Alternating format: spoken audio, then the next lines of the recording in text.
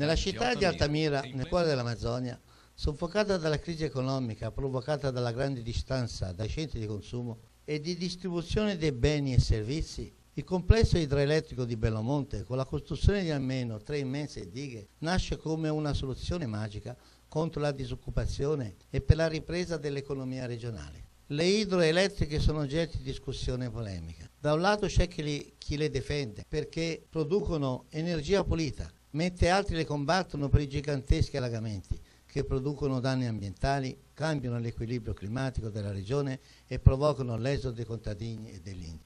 Preoccupata per il futuro dell'Amazzonia, l'equipe di comunicazione della Pelazia di Altamira ha visitato la città di Tucuruì con l'idea di verificare e registrare alcune conseguenze che l'idroelettrica può provocare.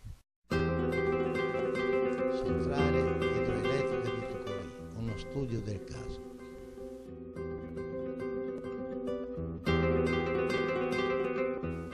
Nella Tucuruì di oggi esiste un modello di sviluppo che da oltre 20 anni promette cambiamenti rapidi per tutta la regione del sud-est del Parà.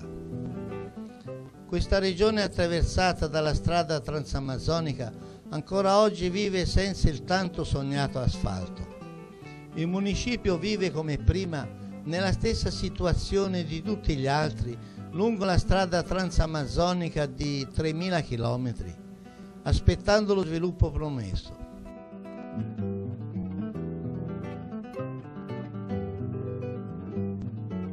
Tucuruì ha sognato negli ultimi 25 anni di trasformarsi in cittadina modello sia nell'economia sia nel benessere generale della sua popolazione e tutto questo grazie alla sua centrale idroelettrica, la maggiore del Brasile e la quarta a livello di importanza del mondo.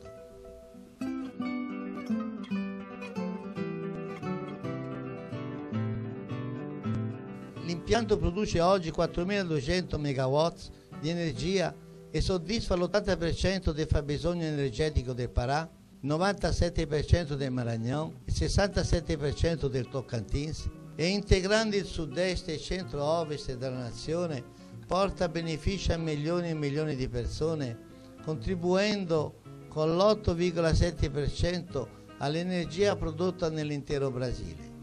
L'idroelettrica funzionava nel 1992 con 12 turbine, aumentate poi fino a 22, che alimentano 11 linee di trasmissione. Doveva essere potenziata ma si è fermata per mancanza di finanziamento. Un'osservazione. Mentre l'energia arriva fino al sud del Brasile, proprio nei comuni di Tucuruì le comunità dell'interno continuano a usare la lampada a petrolio. Nella città c'è un altro problema. Allì arriva energia ma chi abita in Tucuruì deve pagare una cifra assurda per l'energia che usa. È quello che ammette e denuncia il vice sindaco della città. L'energia qui in Tucuruì è molto cara. La rete CERPA, Centrale Elettrica del Parà, ci vende l'energia 5 volte più cara di quanto fa l'Elettronorte nel resto del paese. Me assustei mesmo, porque foi algo em torno de cinco vezes mais do que o preço que era vendido pela Eletronorte.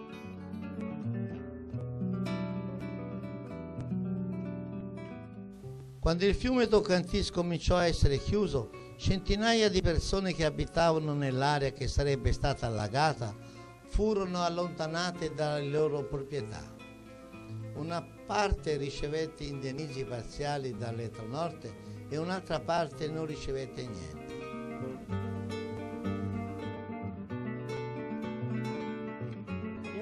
Io ho perso 48 ettari piantati a caffè, pepe e altre culture. Ho perso la mia casa, un pozzo per l'acqua.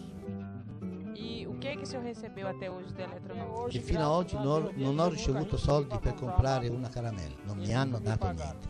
Mi hanno promesso molte cose, mi hanno promesso una casa e non l'ho ricevuta. Ho dovuto farmi una casa di 5 metri per la mia famiglia. Volevano la mia terra e se la sono presa.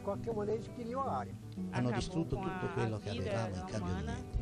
Nel 2005 ci siamo organizzati nel movimento degli espropriati. Ci siamo accampati dove dovevano costruire la seconda parte della diga, chiedendo che fossero considerati i nostri diritti.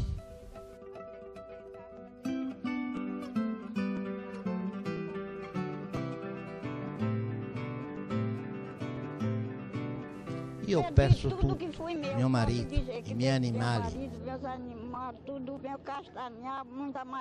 gli alberi di cedro, di mogano, il mio baracco pieno di persone che lavoravano per me. Oggi non ho una casa per abitare, vivo in affitto e in difficoltà. Eravamo otto fratelli e tutti sono morti. Poco tempo fa hanno ammazzato mio nipote. Ho perso tutto e non ho più niente nella vita. Decine di persone che vivevano bene oggi abitano in affitto e non hanno prospettive per il futuro. Dopo più di 20 anni dalla costruzione della dica non abbiamo ricevuto niente. Perceber che non conseguimos ter nenhum tipo di retorno che compensasse a construção da barragem. Per aiutare la popolazione interessata nacque OMAB, Movimento di Attingiti per la Ripresa. Ebbe il suo primo congresso il 14 di marzo, che fu scelto come il giorno nazionale di lotta contro le centrali idroelettriche. In Tucuruì il movimento lotta per avere equi indennizi.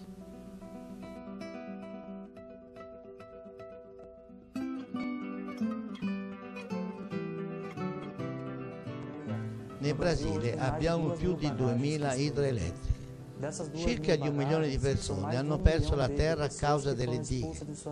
3 milioni e 400 ettari di terre fertili furono inondati. Di fronte a questa situazione una buona parte dei problemi non è stato risolto. Si calcola che per ogni 100 famiglie interessate dalle centrali idroelettriche 70 non sono state indennizzate.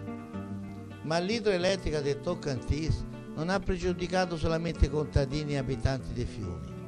I popoli indios possono perdere quasi tutto, la loro cultura, la terra e i loro beni. L'inondazione è stata veloce e abbiamo perso tutto. La storia raccontata dagli Assolini è triste. Secondo loro, dopo l'epoca, che può essere chiamata del diluvio, si ebbero molti casi di morti. Molti si ammalavano di malaria, febbre e diarrea. Cercarono una soluzione nella medicina tradizionale, ma molti morirono di febbre e diarrea. Non ebbero tempo di preparare le medicine tradizionali. Molti corpi erano abbandonati o bruciati dentro le case per l'impossibilità di seppellirli tutti. L'idroelettrica ricordò altri sei comuni, Tucuruí, Repartimento, Breu Branco, Nova Ipixuna, Goianesia, Giacondà e Itapuranga, città che videro crollare la loro economia basata sulla pesca, sull'agricoltura e sulle miniere. Molte persone vivevano della castagna del Pará, che vendevano e commercializzavano. Oggi tutti i castagnetti sono allagati, non esiste più castagna, sono finite le piantagioni di açaí. Altri vivevano dell'olio di andiroba. E oggi il lago ha messo fine a tutto questo. La chiusura del fiume ha messo fine anche alla vita che esisteva nel fiume e lo sfogo dei pescatori che vivono nella regione. Devono cercare di che mantenersi da un'altra parte perché dove erano tutto è finito. Ci sono pescatori ma non c'è pesce. La piana del fiume ha prodotto malattie che hanno colpito principalmente i riberinos, abitanti dei fiumi. Le irrorazioni di antipassitari ancora continuano nella campagna. Le nuvole di fumo cariche di veleno per ammazzare gli insetti sono ben conosciute. Qui abbiamo casi di malaria. Cerchiamo aiuto nella città. Se troviamo un passaggio per arrivarci, bene. Se no aspettiamo la buona volontà di Dio. Non c'è scampo. Quando não se espera a vontade de Deus, quando chega na rua tem remédio. Ma anche in città dove l'assistenza alla salute dovrebbe funzionare è precaria. Ne sono prova le file senza fine di persone alle porte degli ospedali che aspettano di essere visitate. A volte non c'è dottore. Bisogna venire molto presto qui per essere visitati ed è molto difficile. Mim, é horrível. Là nella villa permanente è differente. La villa è una specie di cittadina indipendente costruita dall'elettronotte per accogliere i suoi funzionari e là c'è un ospedale senza dove, dover andare fuori.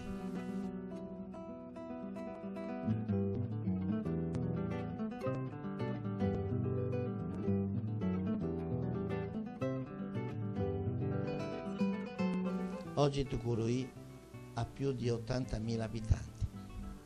Prima dell'idroelettrica la popolazione era molto più ridotta, ma con l'idroelettrica è cresciuta enormemente. Anche se il comune riceve un finanziamento come compensazione finanziaria per aver accolto la diga, le strutture della città sono insufficienti e precarie.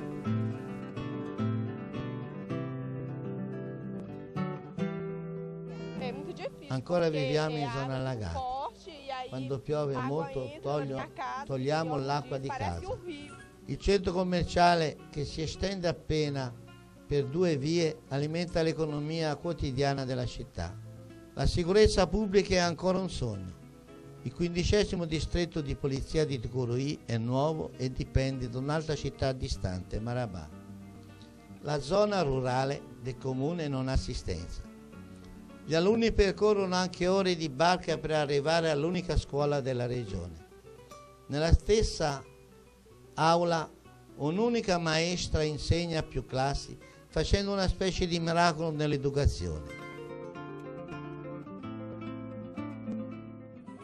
Metto qui quelli della prima classe, in un angolo della sala, quelli del secondo anno nell'altro angolo e quelli del terzo e del quarto dove ancora è coloco libero. Alcuni utilizzano la sedia, solo la sedia. Altri utilizzano il mio tavolino per scrivere. Passo nei quattro gruppi e dico che devono fare. La stessa energia elettrica manca. Vediamo che c'è tanta energia prodotta e va fuori, ma in casa non c'è. Conoscere questa realtà di Tucuruì è importante aiuto per la regione dello Xingu, che oggi ascolta le stesse promesse fatte 30 anni fa a queste popolazioni. Belomonte è qualcosa su cui riflettere seriamente. È difficile credere che sarà solo una diga, molto difficile e incoerente. Per funzionare durante tutto l'anno tutti sono d'accordo che devono esserci varie dighe, altrimenti sarebbe un investimento con poco ritorno.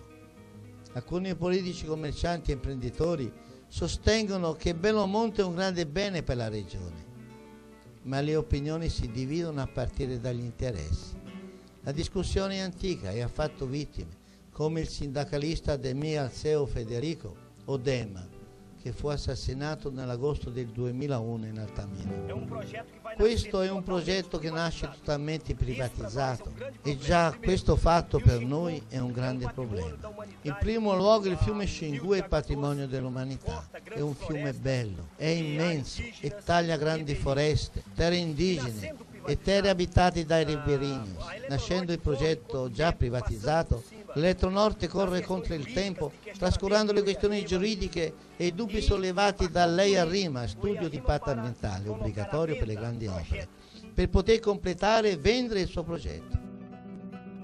Belomonte ha già stuzzicato la curiosità di ricercatori di varie zone della nazione che lavorano indipendentemente alle pubblicazioni di studi di impatto ambientale e sociale. Studi di questo genere sono stati iniziati anche dall'IBA, l'Istituto Forestale Brasiliano.